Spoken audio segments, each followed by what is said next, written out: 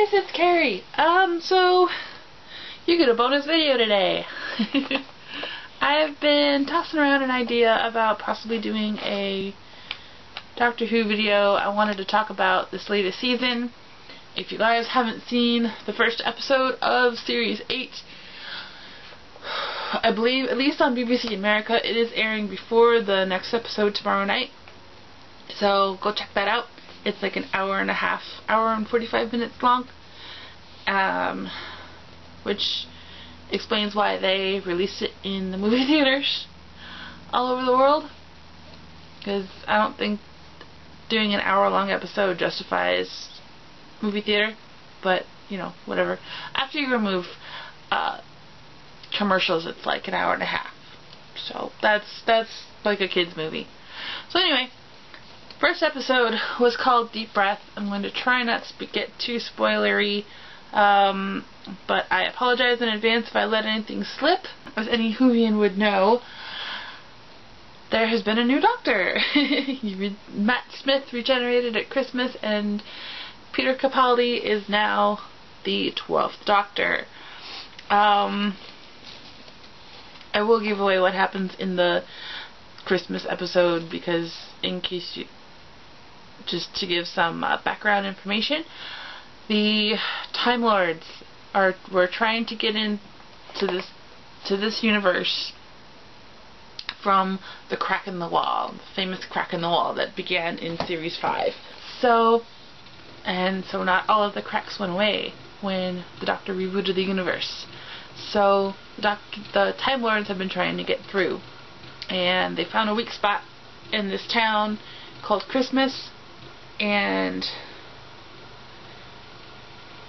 long story short, there was a threat of war breaking out if they were able to come through.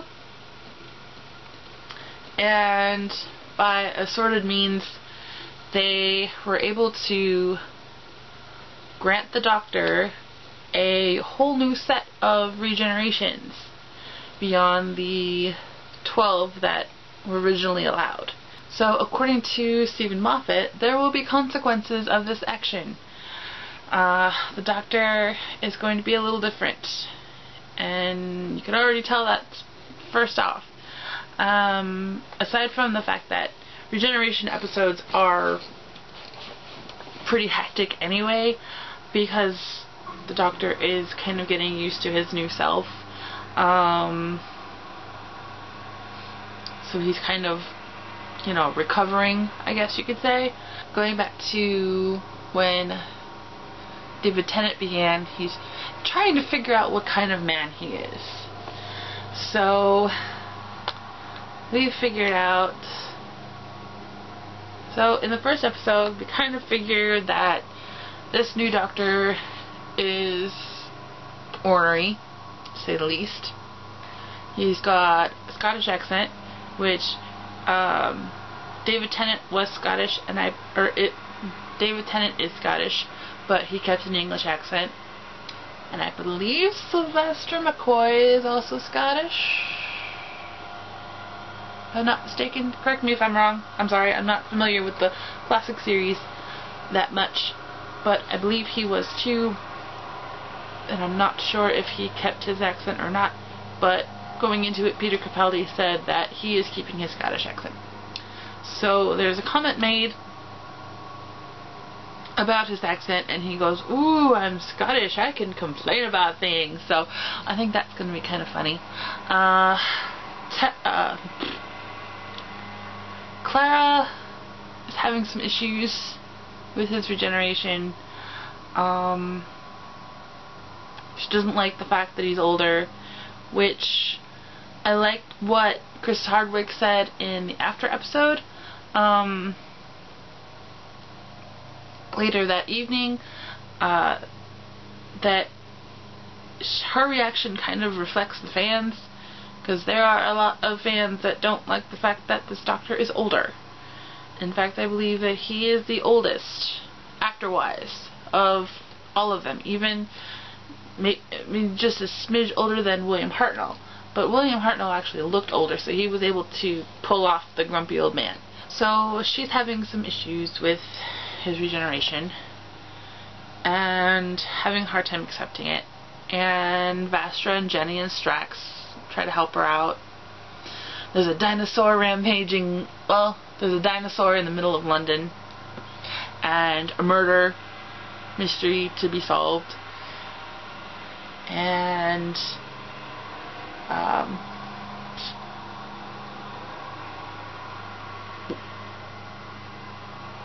and it involves aliens.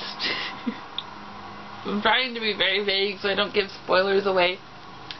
Um, and one thing that the doctor keeps saying, give you guys a hint, is the aliens seem familiar. Can't figure out why. And his whole face seems familiar, and he can't figure out why. Because he looks.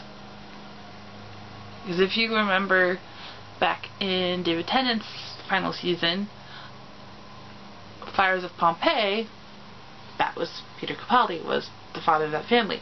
So I don't know if maybe part of him recognizes that face from that incident. Uh, I don't know if they're going to be going back to that story to figure out where he got his face.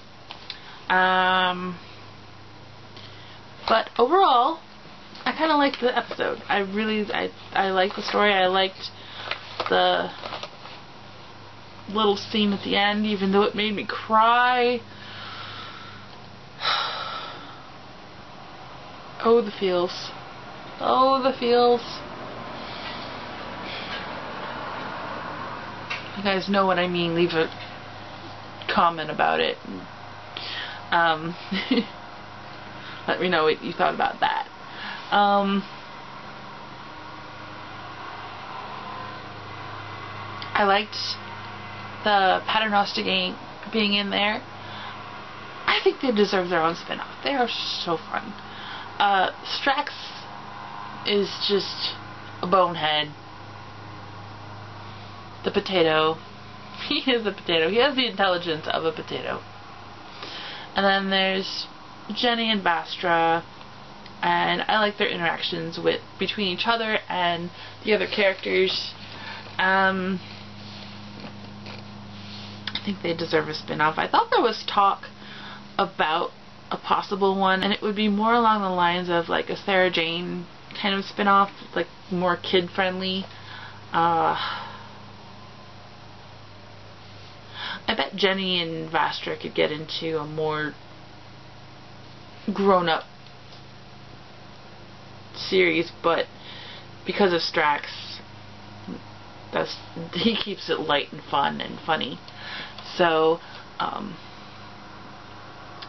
I thought there was talk about a uh, spin-off, but hasn't gone through yet. So I'm keeping my fingers crossed. I don't know about anyone else. I like them. Uh, and I'm reserving judgment on this doctor until I get a little more into the series. Uh, because, like I said, he was still trying to figure himself out. And definitely a little darker. Um, not as many light moments, but there are a few. He makes he makes some snarky comments. Um, I will give this one away. There's a, a scene where they're they're trapped and Clara is trying to grab his sonic screwdriver with his with her foot.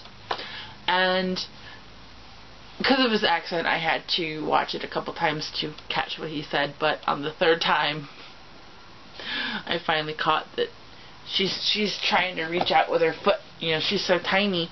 And he goes at times like this I miss Amy and she goes what nothing So that was that was pretty funny. Um, his whole interaction with the dinosaur is fun.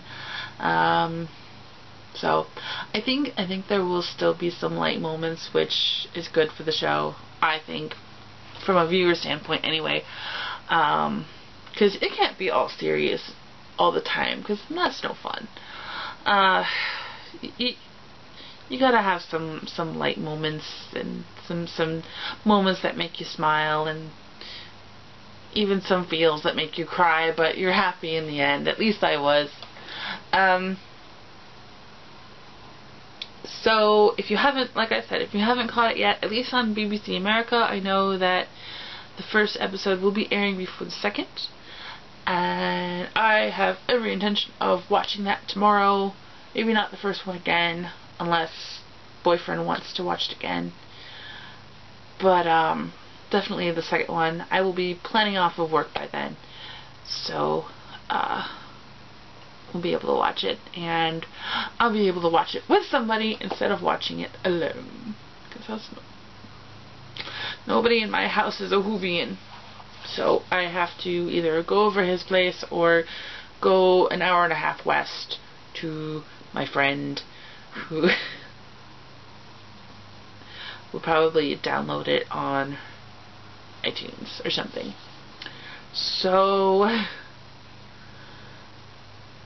that's my review of Deep Breath. And after I get through this hectic weekend, I will maybe have a review up of Inside the Inside the Dalek or Into the Dalek. One of those. One of those titles. Um, and from what I saw in one of the clips that they released, it's the premiere of Danny Pink, who is a new character to the show. He is a math teacher at the school that Clara teaches at. So maybe that will be a love interest? I don't know. He's kind of cute. So we'll see. um, so that's it for me. I gotta get some stuff done. So I'm going to post this video and the video prior. And have a good day, everybody.